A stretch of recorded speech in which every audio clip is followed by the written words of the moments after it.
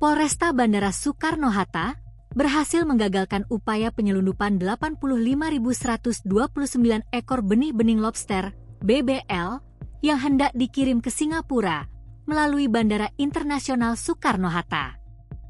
Puluhan ribu benih lobster yang akan diseludupkan itu ternyata memiliki nilai yang fantastis, yakni sebesar 3,5 miliar rupiah.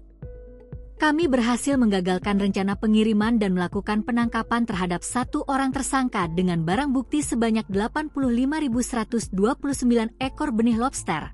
Jakarta Wakapolresta Bandara Soekarno-Hatta, AKBP Ronald FC Sipayung, Sabtu, 5 Oktober 2024. Ronald menjelaskan, Pengungkapan kasus tersebut berawal dari laporan masyarakat terkait adanya kegiatan pengiriman ilegal benih-benih lobster di depan kantor Airnav Indonesia, Kecamatan Neglasari, Kota Tangerang. Setelah mendapat informasi tersebut, penyidik Satreskrim Polresta Bandara Soekarno-Hatta pun langsung melakukan penyelidikan di TKP sekira pukul 23.15 waktu Indonesia Barat.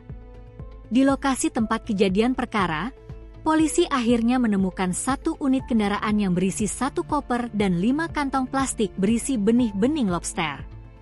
Dari penemuan barang bukti tersebut, polisi juga langsung mengamankan satu pelaku berinisial OP, 47, yang diketahui merupakan warga Pandeglang, Banten.